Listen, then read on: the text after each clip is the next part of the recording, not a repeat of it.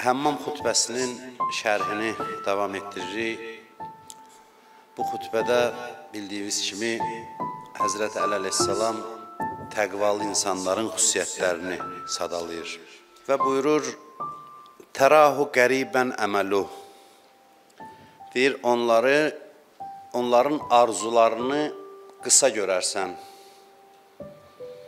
Qısa arzuları var. Dünyavi arzuları, dünyavi istəkləri uzun deyil, qısadır. Hər kimin ki dünyəvi arzuları uzun oldu, çox oldu, onun qəlbinin korlanması prosesi ondan başlanır. Qəlbi xarab olur.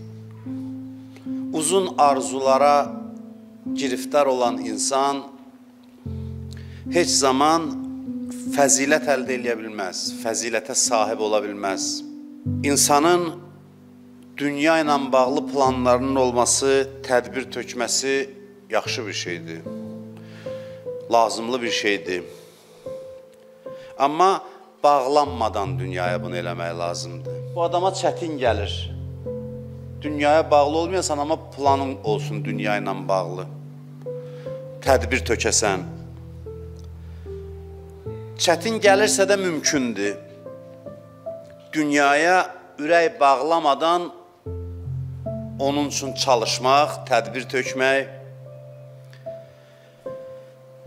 Sual verə bilərlər ki, əgər dünyaya bağlı deyilsə, niyə onun üçün plan töksün? Plan qursun, tədbir töksün? Cavab sadədir. Çünki o da Allaha ibadətdir.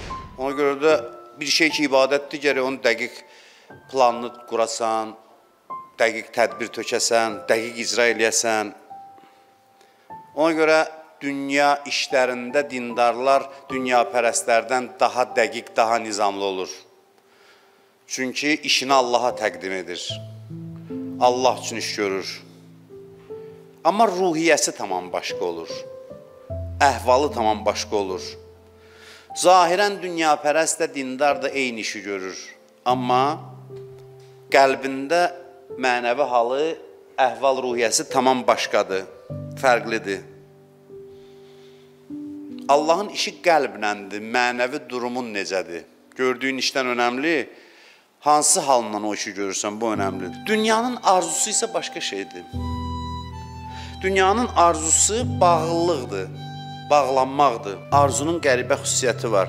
İnsanın ki arzuları uzanır, bunu eləyəcəm, onu eləyəcəm, onu, onu, onu nə qədər şeylər arzulayır. Arzuları uzananda insan elə bilir ki, arzuları qədər yaşayacaq. Qəribə bir şeydir. İnsan elə bilir ki, çox yaşayacaq, uzun yaşayacaq.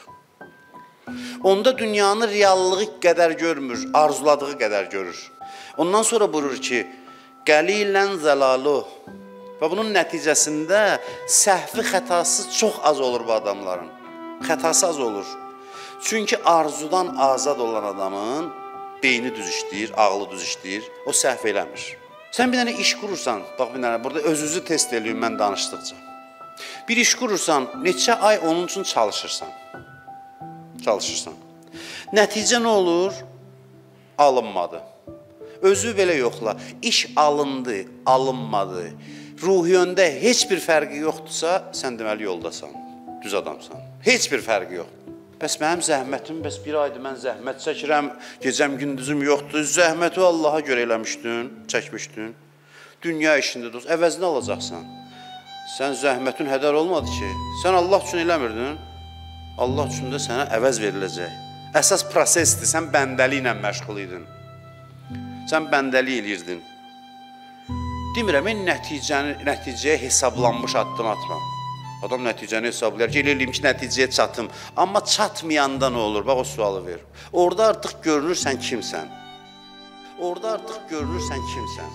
Orada artıq görünürsən kimsən. Sözüm budur sizə. Əleyhissalamın sözüdür bu. Qəlbimi nə keçmişə bağla, nə indiyə, nə gələcəyə. Bəs necə yaşayım? Necə yaşayım? Əbədiyyətə bağlanaraq yaşa. Əbədiyyətin mənbəyi olan Allaha bağlanaraq yaşa. Allah bizi özü bilərəkdən belə bir yerə göndərib ki, o bizi çəksin özünə, biz getməyək, bağlanmayaq. Hünər bundadır və bu vasitə ilə böyüyək. Özüvə öz səni özünə çəkən şeyə yox deyəsən. Cazibə bundadır. Oyunun marağı bundadır. Allah bizi ona görə göndərib. Bura ucalmaq yeridir, ilişib qalmaq yeri deyil. Bura sən biganə olduğun aləm olsaydı, hə? Sən də gəlib burada Allahla münazat eləsəydin, qiyməti olmaz. Onsa sən buna biganəsən. Yox, sənin içində maddi bir tərəf yaradıb. Bu da səninlə eyni növdəndir. Maddidir, səndə də maddi tərəf var. Sənin maddi tərəfin ona bağlanmaq istəyir, sən qopursan, bax bu maraqlı prosesdir. Bu gözəl bir haldır. Bundan arxayın olun. Arzuları ürəyinizdən çıxartsaz, gələcəyinizdən bir zərrə heç nə azalmayacaq, qorxmayın. Bu qorxudur. Bizə bir arzulamayan da olmayacaq. Arzulama olanda daha ləzzətli olacaq.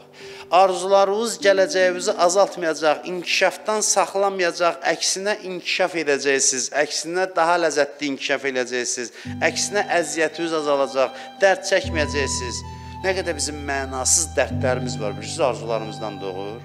Niyə arzuya bağlanırdın ki, sonra da qəmin çəkəsən? Niyə? Niyə?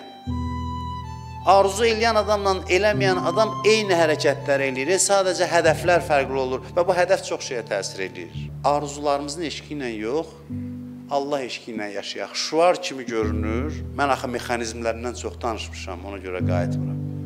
Onda həyat daha ləzzətli olacaq, daha şirin olacaq. Allah bizə belə bir həyat yaşamağı nəsib eləsin.